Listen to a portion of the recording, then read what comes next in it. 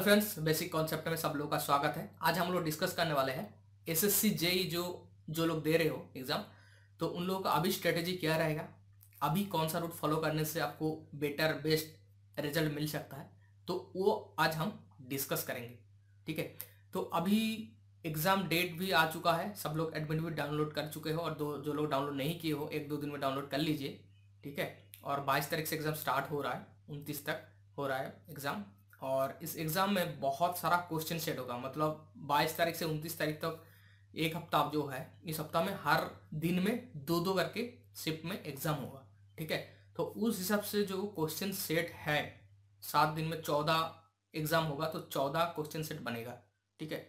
तो इसमें जो आप पढ़ाई किए हो, उसमें से आपका नसीब अगर अच्छा है तो आपको अच्छा क्वेश्चन मिल जाएगा, आपको जो पढ़ाई की हो, उसके अंदर से मिल जाएगा और ऐसा भी हो सकता है कि आप जो नहीं पढ़े हो, वो भी आ सकता है, ठीक है? तो घबराने का कोई बात नहीं है। अगर क्वेश्चन टफ हो रहा है तो वो सबके लिए हो रहा है और इजी हो रहा है तो सबके लिए हो रहा है। तो अभी आपको क्या करना है? अभी लगभग वन हफ़्ता बचा हुआ है, ठीक?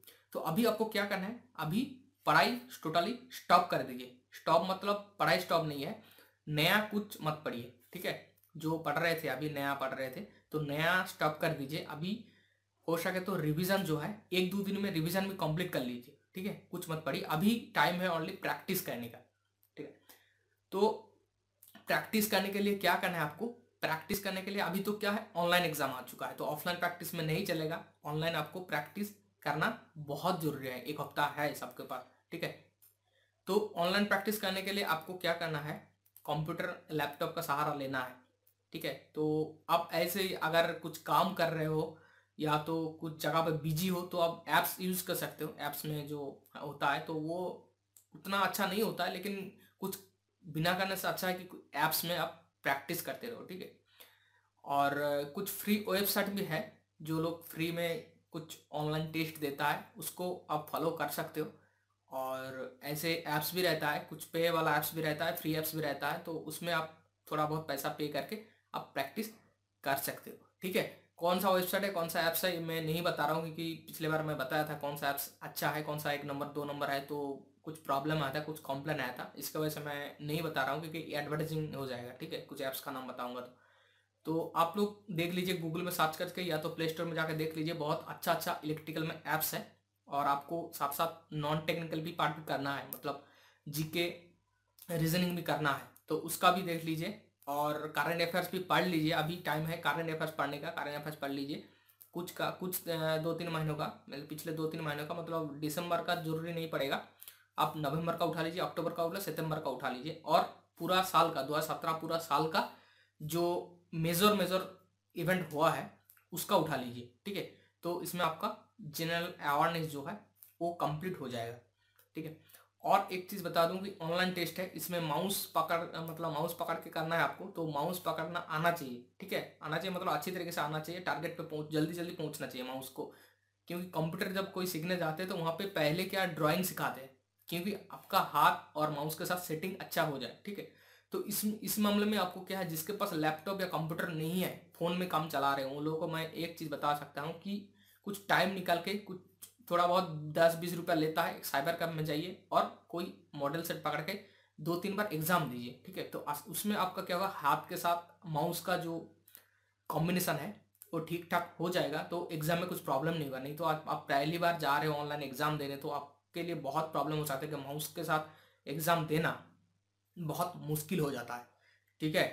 ये बात है। और एक बात है कि और एक हफ़्ता बचा हुआ है एग्ज़ाम सेंटर में आप टाइम से एक दो दिन पहले पहुँच जाए, क्योंकि एग्ज़ाम जिस दिन है, उस दिन का जो पहले का रात है, वो बहुत इंपॉर्टेंट होता है। उसमें स्लीप जो होता है, नींद जो होता है, वो बिल्कुल पूरा होना चाहिए। नहीं तो क्या होता है ब्रेन ठीक ठाक वर्क नहीं करता। आप ठीक ठाक पढ़ के गए हो, साल भर बहुत पढ़ाई किए, लेकिन एग्ज़ाम का पहले दिन आपका नींद ठीक ठाक नहीं हुआ तो आपका ब्रेन ठीक ठाक काम नहीं करेगा। ठीक है? क्योंकि उसको भी रेस्ट का ज़रूरत होता है। कोई, कई लोग क्या करते हैं कि एग्ज़ाम का पहले दिन बहुत जान निकल लेते हैं या तो जाग लेते हैं कहीं पे, ठीक है?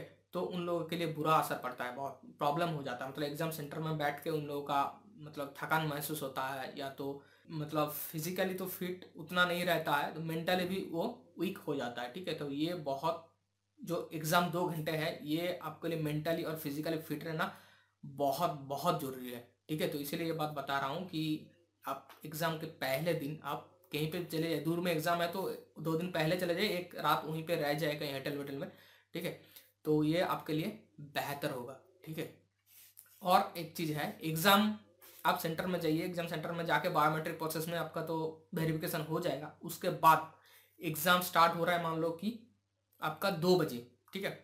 तो आपको वहाँ एक बजे एंट्री हो जाएगा, आपका सीट एक बजे या डेढ़ बजे के आसपास मिल जाएगा। तो वो जो बीच में जो टाइम है, उसको भी आपको कम में लगाना है। जो राप सीट मिल जाता है, पहले क्या करते हैं राप सीट एक दे देता है बड़ा वाला सीट और आप एग्ज़ाम में तो कुछ अलाउ नहीं है, आप पेन का भी ज़रूरत नहीं पड़ेगा। आप अच्छा होगा कि एक पेंसिल एक इरेजर लेके जाइए, ठीक है? पेंसिल एक इरेजर लेके जाइए और पेंसिल इरेजर लेके आपको क्या करना है उस टाइम में, जो एग्ज़ाम स्टार्ट होने के जस्ट पहले का जो टाइम होता है, एक घंटा या आधा घंटा रहता है। उस टाइम में आपको क्या करना है, जो डिराइव्ड जो इक्वेशन है डिराइव्ड जो फॉर्मूला होता है, वो आप लिख लीजिए। लेकिन बहुत सावधानी से लिखना पड़ेगा, कोई देखेगा तो आपका कॉपी ले सकता है। ठीक है? तो वो कुछ प्रॉब्लम नहीं है। एग्ज़ाम स्टार्ट से पहले आप कर रहे हो, वो कुछ मतलब चीट भी नहीं है। ठीक है? लेकिन आप कर सकते हो, या तो रीजनिंग के लिए आप अल्फ़ाबेटिकल जो होता है ए टू जेड और वन टू सिक्सटीन ये जो नंबरिंग है, ये भी आप पहले कर सकते हो तो ये बाद में बहुत काम आएगा, आप देख के तुरंत लगा सकते हो, ठीक है? क्योंकि आपका दो घंटे एग्ज़ाम है टाइम बहुत मायने रखते हैं मतलब एक घंटा बीस मिनट लगेगा आपका दो सौ क्वेश्चन पढ़ने के लिए, ठीक है? और उसमें से क्या होता है, जो पेज लोडिंग होता है, एक पेज में एक ही सिंगल क्वेश्चन आता है, और नेक्स्ट में पेजिंग के मतलब पेज के जाने के लिए आपको नेक्स्ट दबाना पड़ता है। तो नेक्स्ट दबाने के बाद आपका दो तीन सेकंड वहाँ पे लग जाता है। तो 200 क्वेश्चन में आप 200 बार नेक्स्ट दबाएँगे तो वहाँ पे 200 सौ इंटू तीन सेकेंड मान लीजिए तो 600 सेकेंड मतलब 10 मिनट आपका लॉस हो रहा है ऐसे, ठीक है? तो आपके पास बचा है 110 मिनट ठीक है? तो 110 मिनट में आपको 200 क्वेश्चन रिकवर करना है, ठीक है? तो ज़्यादा स्टूडेंट क्या होता है? 50 से 60 परसेंट ऐसा स्टूडेंट एग्ज़ाम देते हैं, जो 200 का 200 क्वेश्चन भी देख नहीं पाता है, ठीक है? डेढ़ तक जाते हैं या 170 तक जाता है ऐसा जाके आपका टाइम जो है, खत्म हो जाता है, ठीक है? तो टाइम सेव आपके लिए बहुत ज़रूरी है। तो टाइम सेव करने के लिए आपको क्या करना चाहिए देखिए? टाइम सेव करने के लिए आपको पहला जो काम रहेगा नॉन कैलकुलेटिंग पार्ट करना। क्योंकि कैलकुलेटिंग पार्ट करने में आपका बहुत टाइम लग जाएगा। एक कैलकुलेटिंग पार्ट करने में आपका जितना टाइम लगेगा, उतना टाइम में आप नॉन कैलकुलेटिंग पार्ट में जो देख के आंसर आ जाएगा, वो तीन से चार कर सकते हो, ठीक है?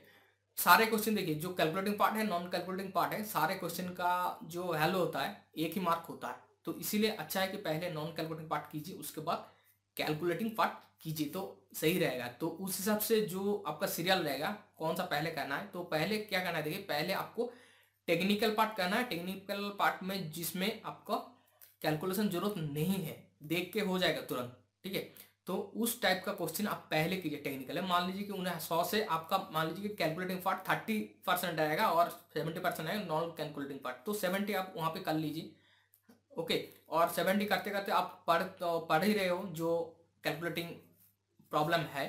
और जो कैलकुलेटिंग प्रॉब्लम है, आप देख रहे हो कि हो जाएगा, लेकिन थोड़ा टाइम लगेगा, उसमें आप रिमार्क करके रख दीजिए। वहाँ पे ऑनलाइन एग्ज़ाम में ये सुविधा रहता है कि रिमार्क करके रख सकते हो कि पहले आप उसको देख सकते हो डायरेक्ट उस क्वेश्चन में जा सकते हो, देख सकते हो। तो इस टाइप का जो क्वेश्चन है, उसमें आप डिमक करके रख दीजिए। बाद में जब रिविजन करोगे आपका क्वेश्चन में, तब आपको डायरेक्ट उसी क्वेश्चन में जाना है, उसी में फॉलो करना है, ठीक है? तो पहले आपको क्या करना है टेक्निकल में नॉन कैलकुलेटिंग पार्ट करना है। उसके बाद जो है जनरल अवेयरनेस करना है, ठीक है? जनरल अवेयरनेस में भी आपका क्या होता है? कैलकुलेशन का कोई ज़रूरत नहीं होता है। देख के आप तुरंत बैठा सकते हो करंट अफेयर्स हो या जीके हो, कुछ भी हो। उसके बाद जो आता है टेक्निकल में कैलकुलेटिंग पार्ट करना है, ठीक है? जो थर्टी परसेंट आप छोड़ के आए थे, वो थर्टी परसेंट कवर करना है। लास्ट में आपको रीजनिंग करना है, क्योंकि रीजनिंग करने में सबसे ज़्यादा टाइम लग जाता है। एक क्वेश्चन में मान लीजिए दो मिनट से ज़्यादा लग जाता है, ठीक है? कई कई क्वेश्चन एक डेढ़ मिनट में हो जाता है, लेकिन दो दो मिनट से ज़्यादा लग जाता है, ठीक है? तो इसीलिए आपका टारगेट रहेगा कि रीजनिंग के रीजनिंग को लास्ट में रखना। और आपको टाइम्स कहाँ सेव करना है, जो नॉन टेक्निकल वाला, जो नॉन कैलकुलेटिंग पार्ट है टेक्निकल वाला, उसमें टाइम सेव करना है। और जो जनरल अवेयरनेस है उसमें टाइम बहुत सेव करना है, ठीक है? उसमें सेव करके जो टाइम मिलेगा, आप यहाँ रीजनिंग में लगा सकते हो, ठीक है? तो ऐसे करोगे तो आपका टाइम मेंटेन ठीक ठाक हो पाए उस तरीके से आप जो मॉडल सेट अभी प्रैक्टिस करोगे तो इस टाइप के में आप प्रैक्टिस कीजिए तो आपके लिए ये बेहतर रहेगा अच्छा सही रहेगा, ठीक है? और एक चीज़ मैं कहना चाहता हूँ, जो एग्ज़ाम हॉल में बैठ के जो प्रैक्टिकली जो मैसेज होता है, मेरा भी होता था, ठीक है? तो वो मैं शेयर करना चाहूँ, उसको कैसे रिकवर करना? देखिए, पहले आप क्वेश्चन देखें, एक क्वेश्चन देख लिया, पहला क्वेश्चन जो है, नहीं बना आपसे, ठीक है? फिर सेकंड क्वेश्चन में गए, वो भी आपका नहीं बन रहा है। फिर थर्ड क्वेश्चन में गए, वो भी आपका नहीं बन रहा है। तो धीरे धीरे ऐसा क्या होता है, आपका जो हाइपर टेंशन है, बहुत हाई हो जाता है, ठीक है? बीपी हाई हो जाता है, आप नर्वस फील करोगे तो ऐसा सोचोगे कि इतना पढ़ के, अरे मेरे से कुछ नहीं हो रहा है, मैं पास नहीं कर पाऊँगा। ऐसा नहीं करना है। देखिए 200 क्वेश्चन में से चार पाँच क्वेश्चन को ऐसा देख के आपको ऐसा नहीं करना है आप, आपको ऐसा पाँच क्वेश्चन तक देखना है। पाँचों का पाँच नहीं बन रहा है तो आपको क्या करना है? क्वेश्चन रिवर्स कर लेना है। क्वेश्चन रिवर्स कैसे करना है? आपका 200 से स्टार्ट करना है। मतलब टेक्निकल मान लो सौ सौ क्वेश्चन कर रहे हो तो हंड्रेड से स्टार्ट करना है। हंड्रेड फिर नाइन्टी नाइन फिर नाइन्टी एट ठीक है? तो उसमें नेक्स्ट कर रहे थे प्रीवियस प्रीवियस करके आओगे तो ये हो सकता है क्वेश्चन टफ कभी नहीं होता तो क्वेश्चन घुमा देता है। टाफ को मतलब जो टॉप क्वेश्चन है पहले रख देते हैं, जो इजी क्वेश्चन है, वो बाद में दे देता है, ठीक है? तो टाइम टाइम के हिसाब से जो क्वेश्चन मतलब एग्ज़ाम होता है, उस एग्ज़ाम में ऐसा होता है, ठीक है? ये सब पेशेंट रखना है। और क्वेश्चन कितना भी टफ हो, आपको टेंशन नहीं लेना है, क्योंकि अगर टफ हो रहा है, मान लो तो वो सबके लिए टफ हो रहा है, और अगर इजी हो रहा है तो वो सबके लिए इजी हो रहा है तो ठीक है? तो इसीलिए टेंशन नहीं लेना है। आप जैसा जितना भी पढ़ के गया हो, काफ़ी है, ठीक है? तो इसलिए टेंशन नहीं लेना है। आपका इजी क्वेश्चन आए कि ना आए आपको हिसाब से एग्ज़ाम देना है। क्योंकि टॉप क्वेश्चन आएगा तो आप अब मान लो कि दो सौ से पचास कर रहे हो। तो आपका जो दोस्त गया है एग्ज़ाम देने आपके साथ वाले जो गए हैं वो लोग भी टॉप महसूस करेगा ना? तो वो लोग भी ऐसा करेगा ना पचास के आसपास रहेगा। उन लोग तो ज़्यादा नहीं दे पाए आप पचास करें वो लोग डेढ़ सौ तो नहीं कर पाएगा। ठीक है? और लास्ट में और एक चीज़ कहना चाहता जो लोग बिना प्रिपरेशन के जा रहे हो तुक्का लगाने के लिए सोच रहे हो तो वो लोग के लिए भी एक छोटा सा टिप्स मैं दे, दे देना चाहता हूँ। लीगल नहीं है, फिर भी मैं बता रहा हूँ। तो वो लोगों को सिर्फ़ क्या करना है देखिए, तुक्का लगा कभी तो पास नहीं किया जाता है, लेकिन लॉटरी जैसा होता है। तुक्का लगा कभी कभी कोई एक दो सौ में से एक या हज़ार में से एक निकल जा सकता है, ठीक है? जो तुक्का लगाने वाला होता है। तो देखिए, तुक्का लगाने के लिए आपको क्वेश्चन पढ़ने का ज़रूरत नहीं है, तुक्का ऐसे ही लगाइए, ठीक है? तो उसमें से आपको बेटर रिज़ल्ट मिल सकता है। आप अगर थोड़ा पढ़ के तुक्का लगाने जाओगे तो वो मैं लिख के देता हूँ, वो गलत होगा ही होगा। जिसमें से, जिस क्वेश्चन में आप मान लीजिए कि दो ऑप्शन में से आपका फिफ्टी फिफ्टी आ रहा है, दो ऑप्शन आप छोड़ दीजिए, और दो ऑप्शन में से आपको लग रहा है कि ए और सी हो सकता है बी डी नहीं होगा ए सी हो सकता है। उस सबसे आप जैसे भी तुक्का लगा हुआ ए और सी में तो आपका गलत होना ही होना 99 परसेंट चांस आपका गलत होगा। तो इसलिए जिस क्वेश्चन में आप तुक्का लगाने जा रहे हो, उस क्वेश्चन में बिना पढ़ के, बिना सोचे समझे तुक्का लगाइए, उसमें करेक्ट होने का चांस ज़्यादा रहता है। ठीक है? तो चलिए थैंक यू और बेस्ट ऑफ़ लक और एग्ज़ाम देख के सब लोगों के पास मैं फीडबैक जो है, वो एक्सपेक्ट करूँगा कि कैसा एग्ज़ाम हुआ है, कैसा क्वेश्चन है। ठीक है? सब लोग बताइएगा, मैं उसके लिए अलग से एक वीडियो बनाऊँगा। तो अभी के लिए चलिए, धन्यवाद और अच्छे से एग्ज़ाम दीजिए और मेरा चैनल को ज़रूर फॉलो करते रहिए। चलिए बाय बाय